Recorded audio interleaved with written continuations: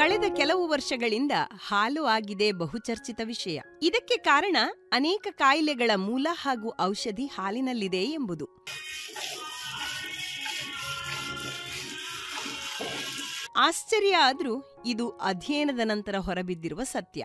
ಮಿಶ್ರತಳಿ ಹಸುಗಳಿಂದ ಪೂರೈಕೆಯಾಗುವ ಹಾಲಿನಲ್ಲಿ ಎ ಒನ್ ಎಂಬ ಅನಾರೋಗ್ಯಕರ ಅಂಶ ಇದೆ. ಇದನ್ನು ರಾಷ್ಟ್ರೀಯ ಹೈನುಗಾರಿಕೆ ಸಂಶೋಧನಾ ಸಂಸ್ಥೆಯ ವಿಜ್ಞಾನಿಗಳೇ ಹೇಳಿದ್ದಾರೆ. ವಿದೇಶಗಳಾದ ಆಸ್ಟ್ರೇಲಿಯಾ ನ್ಯೂಜಿಲೆಂಡ್ಗಳಲ್ಲಿ ಎ ಟು ಹಾಲಿಗೆ ಸಿಗತೊಡಗಿದೆ ಪ್ರಾಧಾನ್ಯ. ಅದೀಗ ಭಾರತದಲ್ಲಿಯೂ ಬರುತ್ತಿದೆ ಮುನ್ನೆಲೆಗೆ.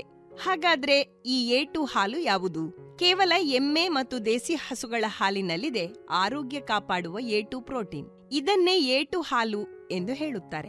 ಈಚೆಗೆ ಎಲ್ಲೆಡೆ ಮಿಶ್ರತಳಿ ಹಸುಗಳ ಸಾಕಾಣಿಕೆಯೇ ಹೆಚ್ಚಾಗಿದ್ದರಿಂದ ಆರೋಗ್ಯ ವ್ಯವಸ್ಥೆ ಹದಗೆಡುತ್ತಿರುವುದರ ಬಗ್ಗೆ ಎಚ್ಚರಿಸುತ್ತಿದ್ದಾರೆ ಡೇರಿ ತಜ್ಞರು. ಹೀಗಾಗಿ ಈಗ ಶುದ್ಧ ದೇಶಿ ತಳಿಯ ಗೋವುಗಳ ಸಾಕಾಣಿಕೆ ಟ್ರೆಂಡ್ ಆಗುತ್ತಿದೆ. ಮಲೆನಾಡು ಗಿಡ್ಡ, ಅಮೃತ್ ಮಹಲ್, ಹಳ್ಳಿಕಾರ್, ಗಿರ್, ಕಾಂಕ್ರೇಜ್, ಸಹಿವಾಲ್, ಸಿಂಧಿ, ಕಿಲ್ಲಾರಿ, ಓಂಗೋಲ್ ಮುಂತಾದ ದೇಶಿ ತಳಿಗಳು ಪಡೆದಿವೆ ಪ್ರಸಿದ್ಧಿ. ಬೆಂಗಳೂರಿಂದ ಮೂವತ್ತು ಕಿಲೋಮೀಟರ್ ದೂರದ ಪುರದಪಾಳ್ಯದಲ್ಲಿ ಯುವಕರೊಬ್ಬರು ದೇಶಿ ತಳಿಗಳ ಗೋಶಾಲೆ ನಡೆಸಿ ಬೆಂಗಳೂರಿಗೆ ಮಾಡುತ್ತಿದ್ದಾರೆ ಏಟು ಹಾಲು ಸರಬರಾಜು. ಈ ಹಾಲಿನ ಪ್ರಾಮುಖ್ಯತೆ ಏನು? ಅವರ ಮಾತಿನಲ್ಲೇ ಕೇಳೋಣ. ಇದು ಭಾರತೀಯ ಗೋತಳಿ, ಗೀರ್ ಮತ್ತು ಕಾಂಗ್ರೆಸ್ ಸಾಹಿವಾಲ್ ಮೂರ್ ಬ್ರೀಡ್ ನಮ್ಮ ಹತ್ರ ಇದೆ. ಸೊ ಇದ್ರದ್ದು ನಾವು ಈಗ ಮಿಲ್ಕಿಂಗ್ ಮಾಡ್ತಾ ಇದ್ದಾರೆ. ಇದು ಮಿಲ್ಕಿಂಗ್ ಟೈಮು ಈ ಹಾಲನ್ನ ನಾವು ಬೆಂಗಳೂರಿಗೆ ಕಸ್ಟಮರ್ಸ್ಗೆ ಡೆಲಿವರಿ ಕೊಡ್ತಾ ಇದ್ದೀವಿ. ಈ ಹಾಲಿನ ಮಹತ್ವ ಏನು ಅಂದರೆ, ಇದು A two milk A two milk ಅಂದರೆ ನಮ್ಮ ಪ್ರತಿಯೊಂದು ಆರೋಗ್ಯಕ್ಕೂ ತುಂಬ ಒಳ್ಳೆಯದು. ಏನೇ ಹೆಲ್ತ್ ಇಶ್ಯೂಸು ಯಾಕಂದರೆ ಇದಕ್ಕೆ ನೂರು ರೂಪಾಯಿ ಕೊಡ್ತಾರೆ ಅಂದರೆ, ಈಗ ಮಾರ್ಕೆಟಲ್ಲಿ ಇದಕ್ಕೆ ಹಂಡ್ರೆಡ್ ರುಪೀಸ್ ಪರ್ ಲೀಟರ್ ಇದೆ. ಈ ಹಂಡ್ರೆಡ್ ರುಪೀಸ್ ಕೊಡ್ತಾರೆ ಅಂದರೆ ಅದಕ್ಕೆ ಅದು ಅದು ಮಹತ್ವ ಇದೆ. ನಮ್ಮ ಆರೋಗ್ಯ ವೃದ್ಧಿಗೆ ಪ್ರತಿಯೊಂದು ಆರೋಗ್ಯದಲ್ಲಿ ಏನೇ ಸಮಸ್ಯೆ ಇದ್ದರೂ ದೇಸಿ ತಳಿ ಹಾಲು ತುಂಬ ಒಳ್ಳೆಯದು. ಇದರಲ್ಲಿ ದೇಸಿ ತಳಿ ಏನು ಅಂದ್ರೆ ಹಂಪು ಬರುತ್ತೆ. ಅದನ್ನ ಸೂರ್ಯನಾಡಿ ಕೇತು ಅಂತಾರೆ. ಅದ್ರ ಸೂರ್ಯನ ಕಿರಣಗಳ ಕೊಂಬಲ್ಲಿ ಹೀರ್ಕೊಂಡು ಸೊ ಅದನ್ನ ಭುಜದಲ್ಲಿ ಇಟ್ಕೊಂಡು ಗೋಮಯ, ಗೋಮೂತ್ರ ಮತ್ತು ಹಾಲಲ್ಲಿ ಬರುತ್ತೆ. ಗೋಮಯ ವಸತಿ ಲಕ್ಷ್ಮಿ, ಗೋಮೂತ್ರಂ ಧನ್ವಂತರಿ, ಗೋ ಅಮೃತಂ ದೂದ್ಗಮಯಂ ಅಂತ.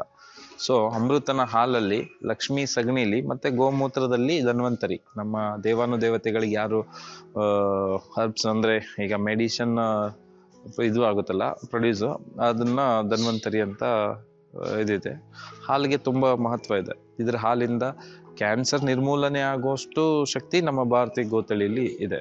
ಈಗ ಈ ಮಿಲ್ಕಿಂಗ್ ಏನು ಮಾಡ್ತೀವಿ ಅಂದ್ರೆ ಬಿ ಎಂ ಸಿ ಅಂತ ಇದೆ ಬಲ್ಕ್ ಮಿಲ್ಕ್ ಕೂಲರ್ ಸೊ ಈ ಮಿಲ್ಕಿಂಗ್ ರಾ ಮಿಲ್ಕಿಂಗ್ ತಗೊಂಡೋಗಿ ಬಿ ಎಂ ಸಿಲಿ ಹಾಕಿಬಿಟ್ಟು ಜಸ್ಟ್ ಫಾರ್ ಚಿಲ್ ಅಂದ್ರೆ ನಾಲ್ಕು ಡಿಗ್ರಿಗೆ ಅದನ್ನ ಚಿಲ್ ಮಾಡಿ ಇಡ್ತೀವಿ ಯಾವುದೇ ರೀತಿ ಪ್ಯಾಸ್ಚರೈಸು ಮತ್ತೆ ಅದನ್ನು ಕೆನೆ ಕಟ್ಟಕ್ಕೆ ಬಿಡಲ್ಲ.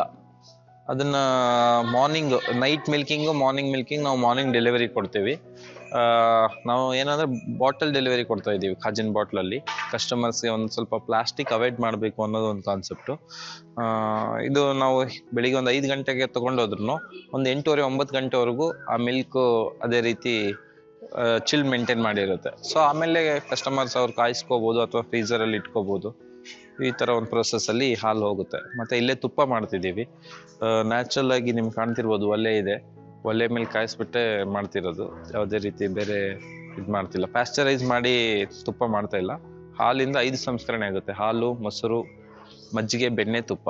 ಈ ಐದು ಸಂಸ್ಕರಣೆಯಲ್ಲಿ ತುಪ್ಪ ಆಗ್ತಾ ಇದೆ. ಕರ್ನಾಟಕ ಸರ್ಕಾರ ದೇಶಿ ಹಾಲಿಗೆ ಮಾರುಕಟ್ಟೆ ಒದಗಿಸುವ ಕೆಲಸ ಎರಡು ವರ್ಷಗಳ ಹಿಂದೆ ಮಾಡಿದೆ.